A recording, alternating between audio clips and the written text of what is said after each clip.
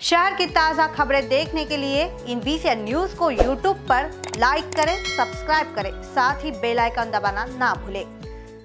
बीस लाख की फिरौती नहीं देने पर परिवार को जान से मारने की धमकी देने वाले आरोपी के खिलाफ सकरदरा पुलिस ने मामला दर्ज किया है। जानकारी के अनुसार सकरदरा पुलिस स्टेशन अंतर्गत डोंगरे लेआउट अभ्यंकर नगर निवासी आरोपी मंगेश कड़व की दुकान नवंबर 2013 में छोटा ताजबाग रघुजी नगर सुधांशु मैरिज हॉल के सामने निवासी फिरियादी देवानंद शिर्के ने खरीदा था।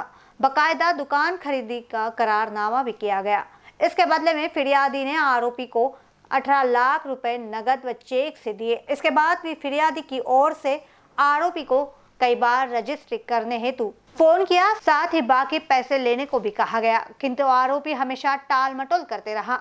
बताया जाता है कि आरोपी ने दुकान पर बैंक से 50 लाख का कर्ज ले रखा था। बैंक से कर्ज लेकर आरोपी ने बैंक व फिरियादी के साथ धोखाधड़ी की।